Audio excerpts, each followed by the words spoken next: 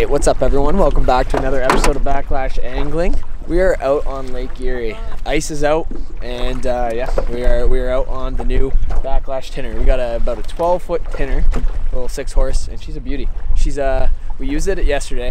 So Mads and I went out yesterday. We were trying to film a video, but it ended up just being absolute chaos. We were catching tons of fish, and uh, Maddie ended up getting this 13 and three quarter giant, biggest perch I've seen in my life.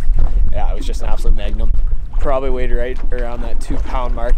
So we're out here today with uh, mom, Zach, and we're trying to replicate the exact same thing. We're looking for just a bunch of keepers and looking to break a bunch of PBs. I wanna I want something in that 13 class range myself. So yeah, we're gonna get to it. The the kind of the dealio right now is we're running uh, Pico rigs and we're just mixing it up between worms and minnows. We were gonna go all minnows, but they're out at the marina, so worms will have to do. So hopefully we can keep smacking them, and then maybe we'll do some sort of unique catch and cook tonight for you guys and uh, teach you a new recipe. So stick with it and enjoy. There we go.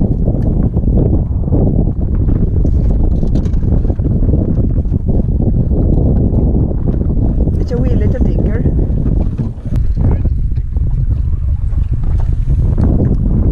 There we go. Rocky. This one's tiny compared to the one we were catching yesterday. Uh, Where's that? That's a keeper. there you go. Oh, it's bending. Oh, flip it. That's two. Two. Oh. That's a tanker. Oh, those are jumpies. That's a jumpy. Alright, we're on the juice.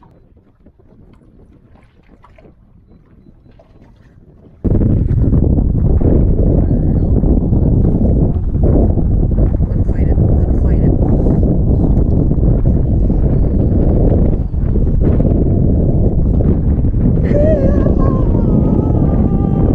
That's what we're looking for. And just pops right out. Shouldn't have played with it. That's a true striping striper. There we go. Alright, back down there. Let's get into some here, baby. Dig, Zach, dig. Now a little tug and then I. There you go. That's fish. All right, so we're about three hours into fishing. This light is probably just awful. Yeah, that ain't gonna get much better. But yeah, we're about three hours into the day. We're, we're picking away at them, but it's so much different than yesterday. Yesterday we sat on one spot anchored and we were just crushing them after and after. Like we had a huge giant school under us, which is kind of what you hope for in fishing for perch. But yeah, today they're just super sporadic. We've been drifting, doing some drifts, plugging ourselves away, stopping, uh, away at two more, drifting, and they're just, it seems like they're super, they're spaced out. They're all over this whole flat area. So we're just trying to do the best as we can and hopefully come across the school eventually. But yeah, I'm not too sure. I don't know what's going on with them right now. I don't know why they're not schooled up together. So yeah, we're gonna probably fish for a few more hours and yeah, hopefully start crushing into them soon. Yeah, I don't know. We'll uh, we'll try to figure something else out. We might even try a different spot here in a second or two. But uh, yeah, we gotta find them.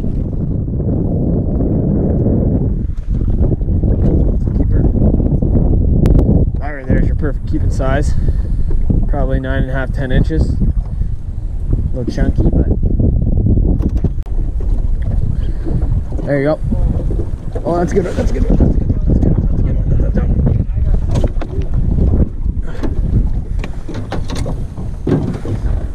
That's a tank. That's a beauty.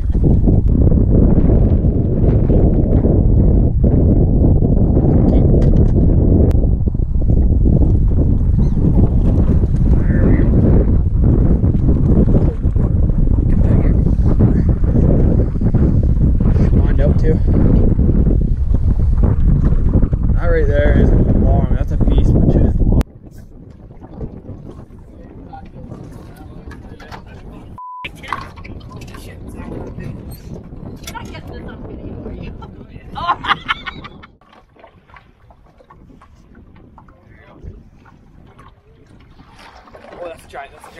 Oh, that's a giant, that's a giant, that's a giant, that's a giant, that's a giant.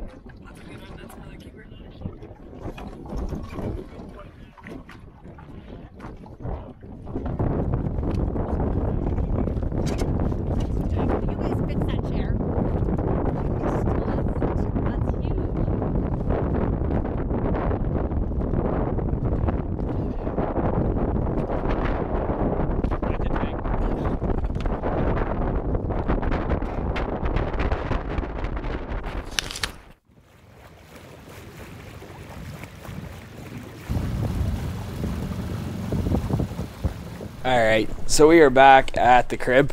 We finished off with probably right around, I'd say, 80 or so perch. Uh, another great day, and uh, we ended up keeping 45 between the three of us, and then three tank Rockies, as you can say. I never thought these were good, and if you're in the same boat as me, apparently you can get a nice strap off them that is in the wintertime and in those cold temperatures is sweet, just like perch. So uh, we'll try it out tonight and uh, we'll let you know. But yeah, we're gonna get these filleted up uh, and then I'll introduce you to what we were making tonight because it's something interesting. And I know a lot of people get caught up in just doing the same thing over and over with fish. And I always like to try different things. And this summer, I really want to uh, showcase a bunch of different ways. Uh, got some stuff going on in the back. Bunch of different ways to showcase fish in a different way, and uh, yeah, maybe uh, teach you guys a couple new couple new recipes. So yeah, we'll get these flayed up. That'll take a bit, and then uh, then we'll get to cooking for uh, dinner tonight. All right, so we got our fish filleted up, and if anybody is an avid perch fisherman, uh, you have to understand that it is absolutely a blast catching them. But bringing home 40 plus perch like we did today, and even if you kept the limit, say we kept a limit of 150 today, that's just an insane amount of work. So be uh, be wary that you always have to uh, make sure that you can uh, take the time to flay them up after. But yeah, let's get to the cooking process. So like I said today, we are making a peanut satay perch with a gnocchi base. I was gonna do rice, but my dad wants to do gnocchi, and uh, I can't ever say no to gnocchi, so we're gonna put it on top of that. We're gonna have tomatoes, zucchini, uh, a little bit of bell pepper, jalapeno pepper to give it some spice. And yeah, you can pretty much throw whatever you want into. Any any other vegetables I'd recommend. I would always throw broccoli into it. You can do cauliflower, corn, uh, coming into season in the next couple months would be really good in it too. And yeah, any really uh, any vegetable you want to put into it. But yeah, so we're gonna get dicing these up, uh, and then yeah, and then it's uh, gonna be pretty much a one pot thing. We're gonna get it all in here, and then once it's all cooked up, the veggies and stuff like that, we'll add our perch in because they won't take long to cook. So yeah, let's get started on the prep process, and then we'll start to cook.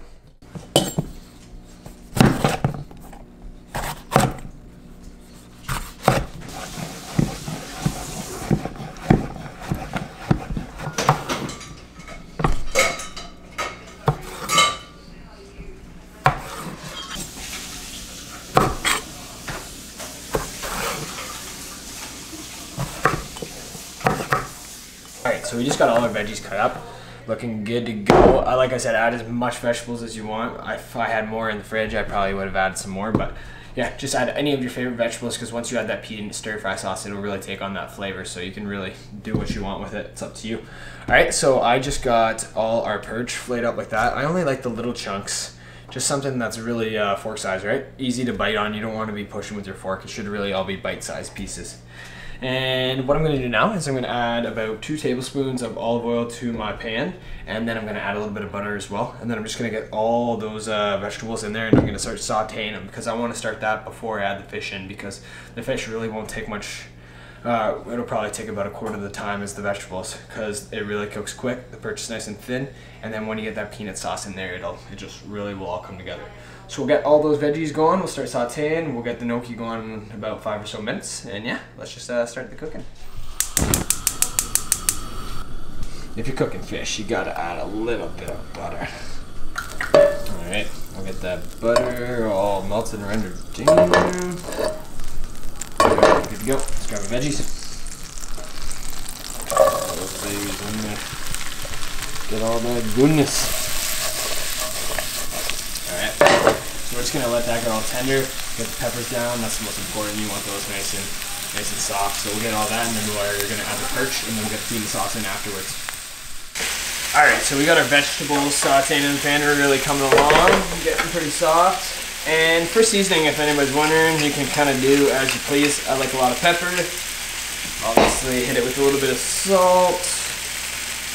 And then I'm a big fan, if I'm cooking any fish at all, I like to use a lemon pepper. Not too much, just because it has that peanut sauce will kind of take it over, and then just Italian seasoning.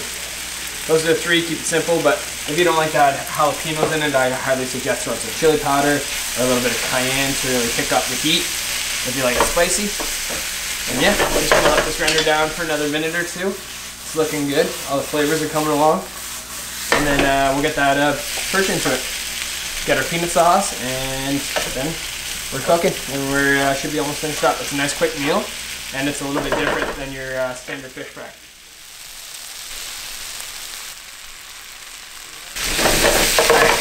Our veggies are rendered down enough that I'm ready to add the perch in. Like I said, I like to add the perch a little bit later on, just because it cooks quick. And it shouldn't be in as long as that vegetable or starts to get that mushy te texture where you actually still want all this that perch to hang in together. You want it to still be a whole, not just mush along with your vegetables, right? So we'll get the perch down, let them cook a little bit, and then we'll add our peanut sauce.